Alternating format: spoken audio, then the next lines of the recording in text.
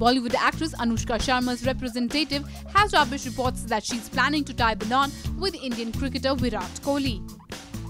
Anushka Sharma and Virat Kohli have been dating each other for some time now.